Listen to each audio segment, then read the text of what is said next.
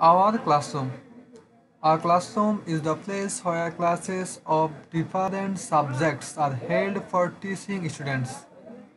মানে হচ্ছে একটা শ্রেণীকক্ষ হয় এমন একটি জায়গা যেখানে শিক্ষার্থীদেরকে বিভিন্ন বিষয়ে শিক্ষাদান করা হয়ে থাকে আওয়ার ক্লাসরুম আমাদের শ্রেণীকক্ষ ইজ হয় at the ground floor of our school building আবার বলতেছি our classroom is at the ground floor of our school building মানে আমাদের শ্রেণীকক্ষটি আমাদের বিদ্যালয়ের আমাদের বিদ্যালয়ের দালানের সবচেয়ে নিচতলায় অবস্থিত। এই যে বলছে এখানে গ্রাউন্ড ফ্লোর গ্রাউন্ড ফ্লোর মানে হচ্ছে নিচতলা। আর অফ আওয়ার স্কুল বিল্ডিং মানে হচ্ছে আমাদের বিদ্যালয়ের দালানের আমাদের বিদ্যালয়ের দালান। বিল্ডিং মানে কি দালান? আমাদের বিদ্যালয়ের দালানের নিচতলা, নিচতলায় আমাদের ক্লাসরুমটি অর্থাৎ শ্রেণীকক্ষটি অবস্থিত। It has two doors and four wide windows wide মানে চওড়া। ইট হ্যাজ টু ডোরস এখানে আছে কি? দুইটা দরজা অ্যান্ড ফোর ওয়াইড উইন্ডোজ এবং চারটি বড় বা প্রশস্তওয়ালা কি জানালা? মানে চারটি বড় বড় জানালা, যা মানে চারটি চওড়া জানালা, সহজভাবে এটা বলবা। ওয়াইড মানে চওড়া, তার মানে হচ্ছে এখানে আমাদের ক্লাসরুমে কি আছে? দুইটা দরজা আছে এবং চারটি চওড়া জানালা আছে।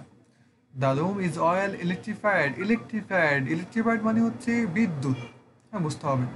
The room is well electrified with four fans and three tube lights মানে তার মানে হচ্ছে আমাদের প্রথমে এটুকু বুঝতে হবে। দ্য রুম মানে কক্ষটি অথবা রুমটি ইজ অয়েল ইলেকট্রিফাইড মানে বিদ্যুৎ দ্বারা সংযুক্ত।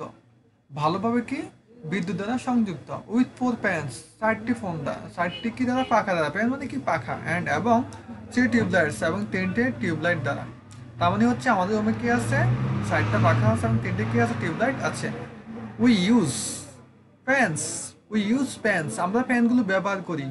হোয়েন ইট ইজ নেসেসারি যখন এটা আমাদের জন্য প্রয়োজন হয় তার মানে হচ্ছে নেসেসারি মানে হচ্ছে প্রয়োজন। There are 20 high benches and 20 low benches for the seating arrangement for, of the students. There are 20 high benches. এখানে কি আছে? বিশটি উঁচু বেঞ্চ আছে। অ্যান্ড টোয়েন্টি লো বেঞ্চ বিশটি কি আছে? নিচু বেঞ্চ আছে। ফর দ্য সিটিং বসার জন্য। অ্যারেঞ্জমেন্ট ফর দ্য স্টুডেন্টস মানে শিক্ষার্থীদের বসার জন্য এগুলো কি কি কি আছে এখানে? শিক্ষার্থীদের বসার জন্য এখানে বিশটা বেঞ্চ আছে হাই বেঞ্চ আছে, আর বিশটা লো বেঞ্চ আছে, এগুলো সাজানো আছে। বুঝতে হবে অ্যারেঞ্জমেন্ট মানে হচ্ছে সাজানো। আচ্ছা there are a fine chair and a table for the teacher there are a fine chair এটা সুন্দর। ওটা অথবা এখানে একটা ভালো কি আছে, একটা চেয়ার আছে। এবং একটা কি আছে টেবিল আছে। কাদের জন্য? ফর দ্য টিচার শিক্ষকদের জন্য। We keep the classroom neat and clean আমরা আমাদের শ্রেণীকক্ষটা কী করি?